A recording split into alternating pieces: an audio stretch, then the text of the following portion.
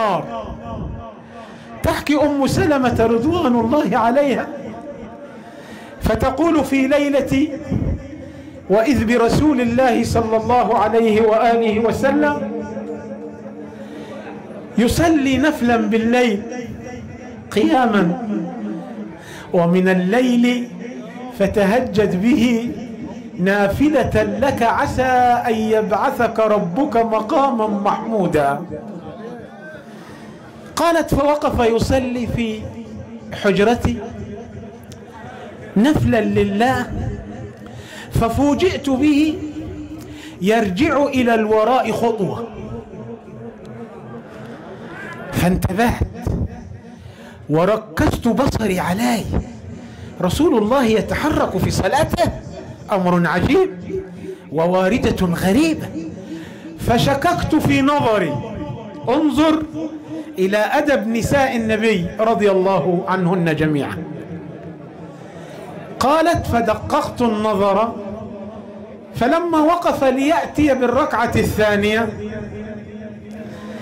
إذ به يخطو إلى الأمام خطوتين فتأكدت أنه يتحرك في صلاته. فلما أتم صلاته وسلم أسرعت في اتجاهه وجلست بجواره ووضعت يدي على كتفه الشريفة وقلت له يا رسول الله خلتك كأنك تتحرك في صلاتك.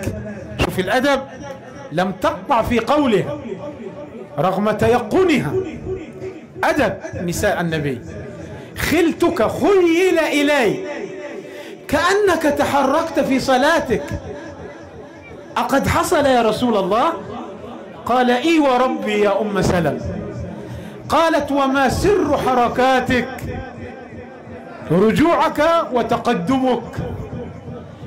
قال في الركعة الأولى وأنا في صلاتي إذ بربي يفتح لي أبواب النار.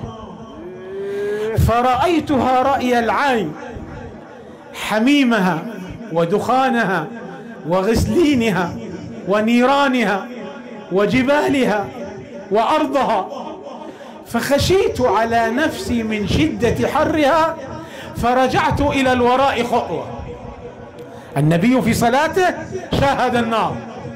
انظر إلى درجة الخشوع والإخبات بين يدي الله. أما في الركعة الثانية ففتح ربي لي أبواب الجنة.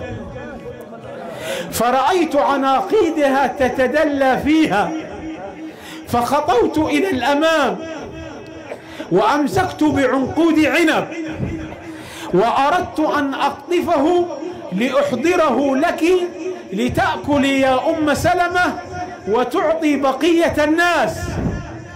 فأشارت لي ملائكة الجنان ليس الآن يا محمد فإنك ما زلت في الحياة الدنيا فإنك ما زلت في الحياة الدنيا.